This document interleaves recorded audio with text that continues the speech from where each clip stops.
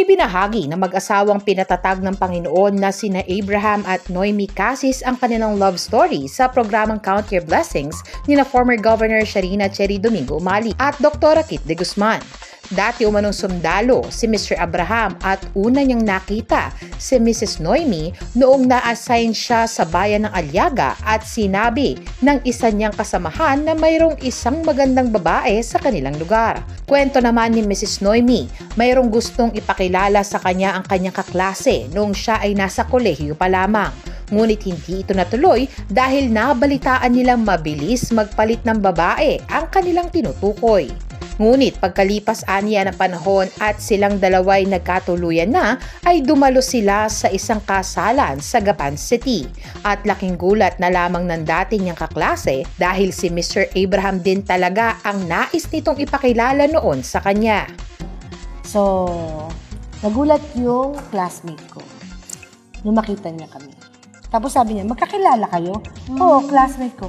And then sabi nung classmate ko, Noemi, si Kuya Larry yung ipapakilala ko dati sa'yo. Sa kasulukuyan ay 34 na taon na silang kasal at mag-isang pinalaki ni Mrs. Noemi ang kanilang apat na anak dahil madalas umanong nadedestino sa malalayong lugar ang kanyang asawa. Apat po ang aming anak. Yung panganay may asawa na. Yung pangalawa katatapos ng low, magbabarno siya na yes.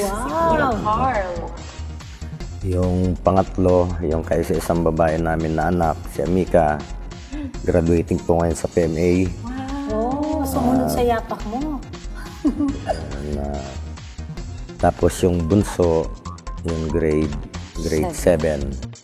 Sa kabila ng pagiging sundalo ni Mr. Abraham at madalas malayo sa kanyang pamilya, ay hindi nakaramdam ng hirap sa pagpapalaki ng kanilang mga anak si Mrs. Noemi dahil na rin sa nagtiwala siya sa plano ng Diyos. Dagdag pa ni Mrs. Noemi dahil mababait ang kanilang mga anak at sinusuportahan sila ng kanilang mga magulang ay hindi siya nahirapan na magpalaki rito kahit wala sa tabi ang kanyang asawa. So, wala ako kasing naramdamang hirap, wala ako naramdamang pressure. Basta I lived my life as it is. In-enjoy mo. In-enjoy mo yung kids mo. In-enjoy mo si uh, sir. Di ba kahit medyo... Parang wala akong hinanap. Walang, Oo. walang, ay, ganito pala yung magiging buhay ko. Wala, as in, Meron wala. pa- Para sa Balitang Walang Sigaw, Amber Salazar.